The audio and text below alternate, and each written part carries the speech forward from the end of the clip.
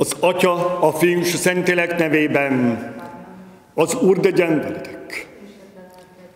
Testvéreim, nagy hét harmadik napjának estéjén, nagy kedden, mai szeműsénket elhunyt Gimes Istvánért, feleségért, Láng Erzsébetért és gyermekeikért, elhunyt Hervilmosért és elhunyt családtagjaiért ajánljuk fel.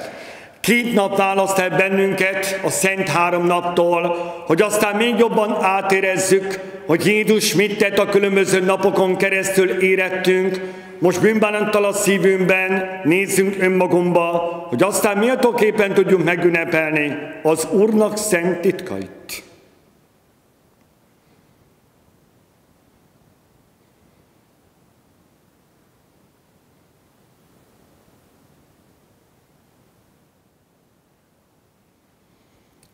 Urunk Istenünk, könyörűd hajtunk.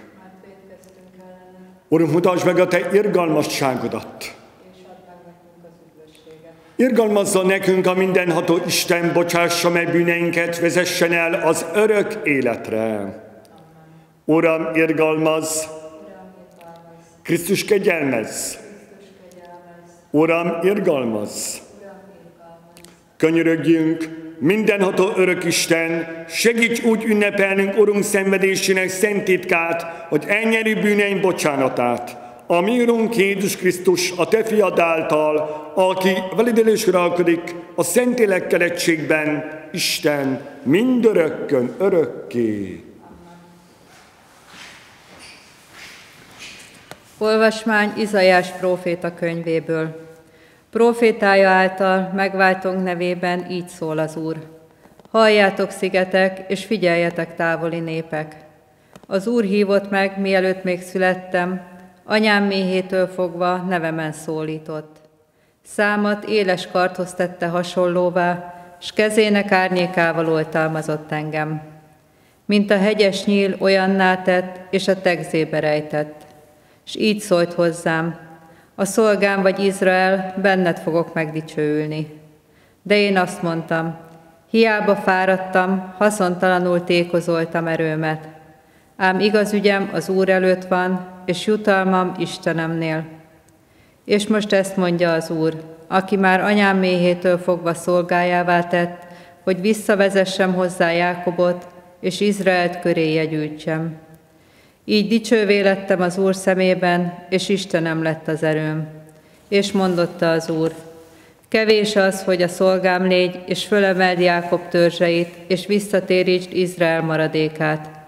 A nemzetek világosságává teszlek, hogy üdvösségem eljusson a föld határáig. Ez az Isten igéje. Istennek legyen hála. A Zsoltár válasza, ajkam hirdeti igazságodat, Uram. Ajkam hirdeti igazságodat, Uram. Te vagy, Uram, én reményem, ne hagyd soha szégyent érnem. Igazságodban ments meg, szabadíts meg engem, fordíts felém füled, és siess segítségemre. Ajkam hirdeti igazságodat, Uram. Légy megmentő sziklám és erős váram, ahol oltalmat nyerjek, mert Te vagy Istenem, erősségem és menedékem, ragadj ki a bűnösök kezéből. Ajkam hirdeti igazságodat, Uram. Üdvözlégy királyunk, engedelmes voltál atyádnak, megfeszíteni vittek, mint leölésre a szelít bárányt.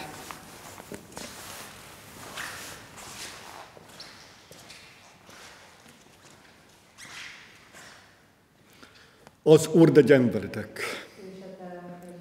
Evangélium Szent János könyvéből. Az utolsó vacsorán Jézus mélyen megrendült lelkében, és újból kijelentette, bizony-bizony mondom nektek, egy közületek elárul engem. Erre a tanítányok tanástalanul egymásra néztek, mert nem tudták, kiről mondta ezt. A tanítányok közül az egyik, akit Jézus szeretett, Vacsora alatt Jézus mellett ült.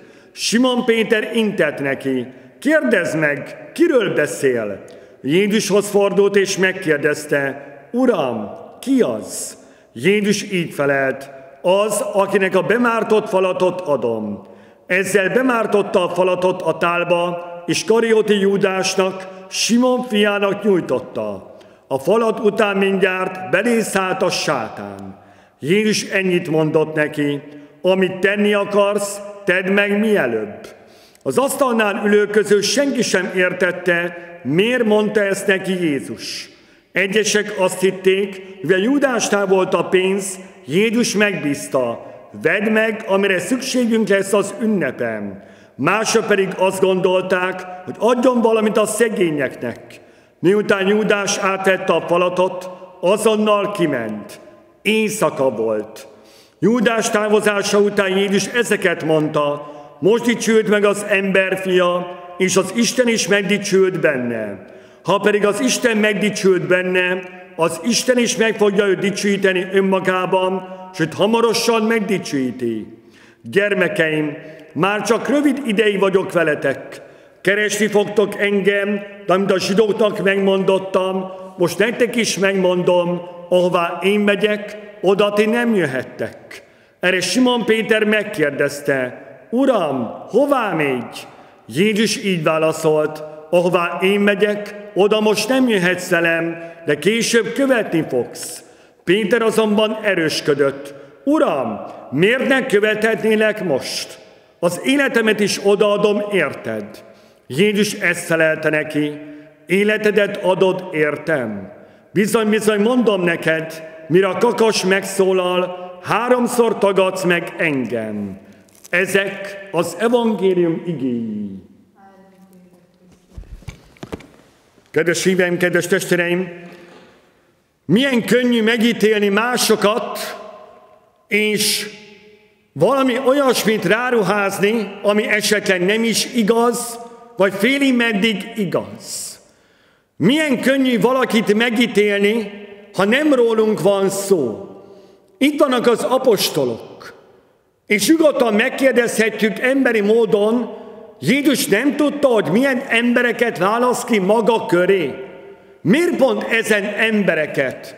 Főleg egy Júdást, aki elárulja 30 ezüstért a mesterét, vagy egy Pétert, aki azt mondja, hogy mindent megtesz érette, még az életét is feláldozza, de tudjuk jól, hogy hamarosan megtagadja háromszor. Miért választ olyan embereket Jézus, amikor nagyon jól tudta és ismert az embereket, hogy mi van bennük a lelkükben?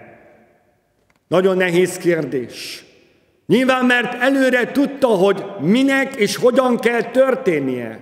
És tegyük föl, hogyha engem választott volna Jézus az ő apostolának, vajon én megérdemeltem volna ezt a tisztséget? Én nem árultam volna el őt valamennyi pénzért, vagy karrierért, vagy hírnévért. Én nem tagadtam meg volna akkor a szenvedések közepette, hogy jaj, én nem is ismerem, nekem semmi közem hozzá, hagyjatok békén, és akkor minden szép és minden jó lesz. Kedves testvérem, kedves nézőnk, vajon én milyen tanítványa vagyok 2000 évvel később Jézusnak? Vagy én mennyire akarom őt követni mindenhová, és nem csak az örömben, hanem úgymond az örömben is. Mennyire szeretném átérezni, hogy Jézus ugyanúgy velem van a szenvedések közepette is, mint amikor minden szép és minden jó. És én mindig vele vagyok, mindig követem őt. Akár a keresztúton egészen a keresztig, vagy a keresztre föl, és akár akkor is, amikor felemel, amikor gyógyít és segít. Miért van az, hogy a négyféle imafajta közül szinte a legtöbb esetben csak kérni tudunk, és dicsőíteni és hálát adni? Milyen ritkán és milyen kevésszer? Vagy esetleg talán még engesztelni, amikor közeledünk a Szent Három nap felé? Mindezeket gondoljuk át magunkban, hogy aztán tényleg újjászületett emberekké váljunk a húsétot követően, hogy még jobban átérezzük, hogy Jézus nekem, nekünk kicsoda is, mit tett, én érettem, mit vállalt, én érettem, és vajon én mit vállalok, ő érette? Amen. Testvéreim, kérjük a mindenható atyát, hogy a nagyből szent idején önmegtagadó életet éljünk, őszinte bűnbánatot tartsunk, és így készüljünk elő a húsvéti örömre. Hogy népedet, Urunk, igaz bűnbánat által a keresztség kegyelmének megújulására vezesd. Kérünk téged, hallgass meg minket, hogy egyházat pásztorai szívesen vállaljanak minden áldozatot a maguk és nyájuk megszentelésére. Kérünk téged, hallgass meg minket, hogy az államfők az igaz barátság szellemében intézzék a nemzetek sorsát. Kérünk téged, hallgass meg minket, hogy a népek egymásnak testvéri segítséget nyújtsanak az éjség és a nyomor megszüntetésére. Kérünk téged, hallgass meg minket, hogy Krisztus keresztjéből erőt merítsenek a szenvedők és a betegek. Kérünk téged, hallgass meg minket! Mindenható örökisten, mennyei atyánk, ne nézz bűneinket, hanem tekints szent fiat engesztelő árzatára, és könyörű megtérő népeden, Krisztus a mi által.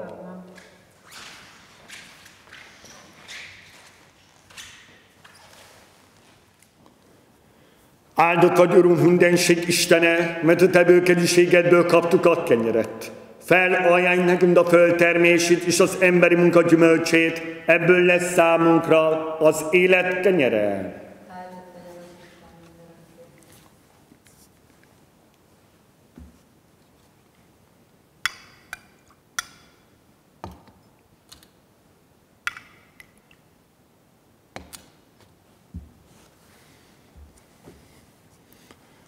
Áldott vagy, Urunk, mindenség Istene, mert a Te bőkediségedből kaptuk a bort. Felajánlj nekünk a szöllőtő termését és az emberi munka gyümölcsét, ebből lesz számunkra a lélek itala.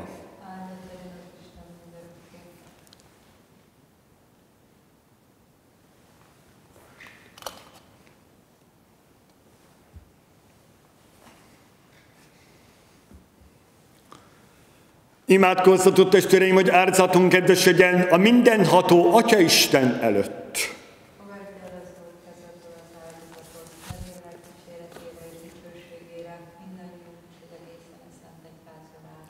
Urunk Istenünk, fogad szívesen háza népének adományait, és akiket kegyelmi ajándékodban részesítesz, vezesd el azokat a teljes boldogságra, Krisztus a mi Urunk által. Az Úr de veletek. Emelj föl szívünket. Adjunk hálát Urunknak, Istenünknek. Valóban méltó és igazságos, illő és üdvös, mindig és mindenütt hálát adjunk néked, mérünk szentséges atyánk, mindenható örök Isten, Krisztus, ami orunk által. Már közeledik üdvözítőnk szenvedésének, tücsőséges feltámadásának ünnepe, amikor örvendünk, megtört az ősi ellenség gőgét, és újra átéljük megváltásunk szent titkát. A te fölségedet, ő által dicsít az angyalok hatalmas kórusa, boldogan áldanak, mert mindörökké látnak téged. Add kérünk, hogy az ő szavukhoz társuljon szózatunk, és velük együtt szüntelen újjongással mondjuk, Szent vagy, Szent vagy, Szent vagy, mindenség Ura, Istene, dicsőséged betölti a mennyet és a földet, Hozsanna a magasságban, áldott, aki jő az Úr nevében, Hozsanna a magasságban. Valóban szent vagy Istenünk, és méltán dicsőít téged alkotásod az egész teremtett világ, mert fiad, ami Urunk Jézus Krisztus által a Szentilek erével éltetsz és megszentesz mindent, és népet gyűjtesz magad köré szüntelen, napkelettől napnyugatig, tiszta árzatot mutasson be neked. Kérve kérünk át Istenünk, a Szentelek által szentel meg árzati adományunkat, hogy teste és vére legyen fiadnak, ami Urunk Jézus Krisztusnak, akinek rendelése szerint ezeket a szent titkokat ünnepeljük. Ő ugyanis azon az éjszakán, amelyen elárultatott, kezébe vette a kenyeret, és neked hálát adva áldást mondott, megtörte, majd tanítványnak adta, és így szólt. Vegyétek, és egyetek ebből minnyájan, mert ez az én testem, mely értetek adatik.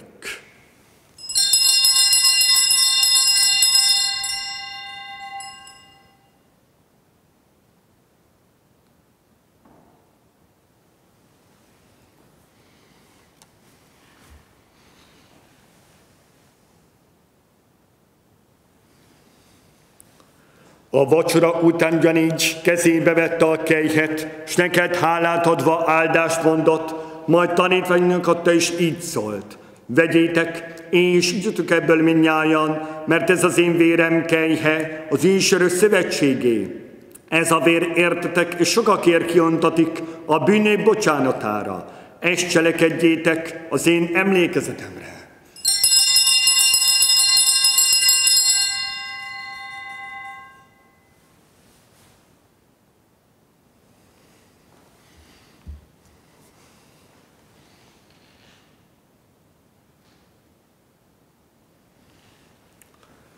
Íme hitünk szent titka.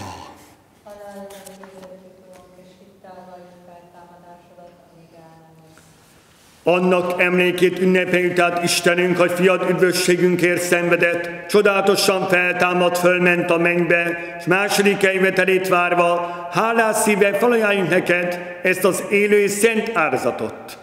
Tekints kérünk egy házad árzati adományára, ismert föl benne fiad árzatát, ami által kiengesztelődni akartál. Add, hogy mi, akik az ő testét és vérét magunkhoz vesszük, szent lelkével eltelve, egy test, és ennél legyünk Krisztusban.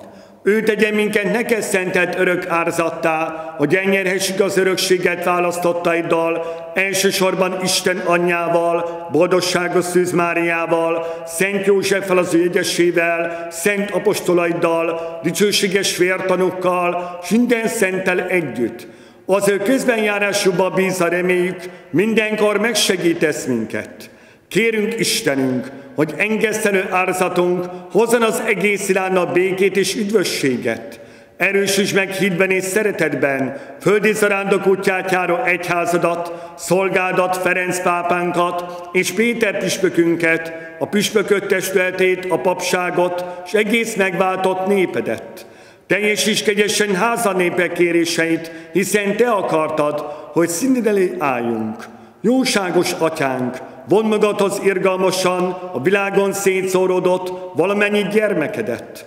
Elhunyt testvéreinket pedig és mindazokat, akik a te kegyelmedben költöztek el ebből a világból, fogad be jóságosan országodba, ahol reményünk szerint dicsőségedben velük együtt, mi is örökre gazdagon részesülünk Krisztus Urunk által, mert általa árasztod el minden jóval a világot.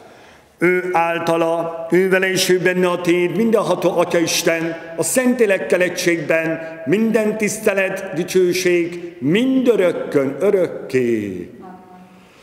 Testvéreim, nézőink, nagyon jól tudjuk, hogy az apostolok, miután Jézus mennybe ment, mit tettek utána, hogy még tényleg az életüket is feláldozták ő érette, kivéve egyet Júdást, aki öngyilkos lett, nem bánta meg a tettét, de Péter annál inkább. És hogyha behelyettesítem önmagamat ezen apostolok közé, én melyik vagyok? Hogy aztán így is imádkozzunk. Mi, atyánk, aki a mennyekben vagy, szenteltessék meg a te. Jöjjön el a te országod, legyen meg a te akaratod, amint a mennyben, úgy a földön is. Minden napi kenyerünket add meg nekünk ma, és bocsáss meg védkeinket, miképpen mi is megbocsájtunk az ellenünk védkezőknek, és ne vinj minket kísértésbe, de szabadíts meg a gonosztól. Szabadítsen kérünk, Urunk, minden gonosztól, adj kegyesen békén napjainkban, irgalmodon mindenkor, bűn és baj nélkül éljünk, reminkeddel várjuk az erőbb boldogságot, és üdvözítőnknek, Jézus Krisztusnak dicsőséges eljöttét.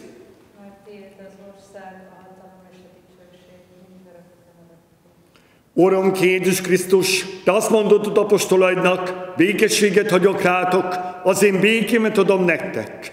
Ne védkeinket nézzed, hanem egyházat hitét, őrizd meg szándékos szerint békében, s meg teljes egységét, aki az és uralkodol, mindörökkön, örökké. Az Úr béké legyen veletek mindenkor. És mindig tudjuk, ne ítélj, hogy meg ne ítéltessél, ezen gondolattal most, fejbicentéssel békünk ki egymással.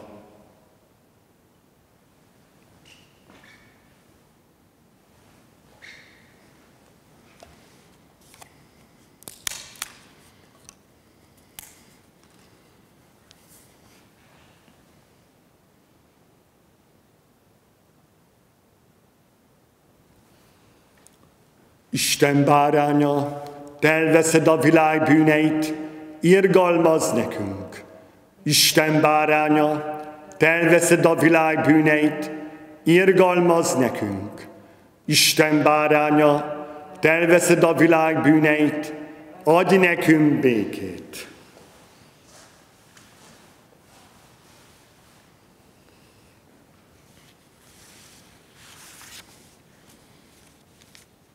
Hogy Jézus mindig tiszta lélekkel versünk magunkhoz, és így is kövessessük őt föld életünk során, közösen együtt most így is imádkozzunk.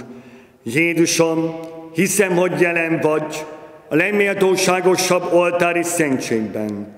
Mindennél jobban szeretlek, és vágyom rá, hogy a lelkembe fogadhassalak. Mivel most nem tudlak szentségi módon magamhoz venni, jöjj, legalább lelki módon a szívembe. Ne engedd, hogy elszakadjak tőled. Amen. Íme az Isten báránya, íme, aki elveszi a világ bűneit. Boldogok, akiket meghív asztalához Jézus, az Isten báránya. Uram, nem vagyok méltó, hogy hajlékomban jöjj, hanem csak egy szóval mond, és meggyógyul az én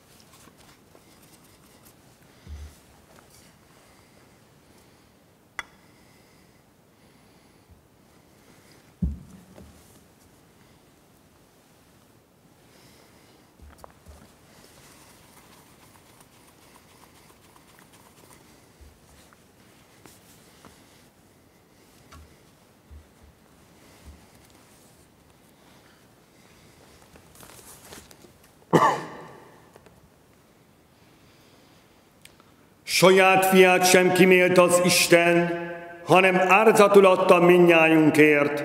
Mi is így hasonlóképpen cselekedjünk. Amen.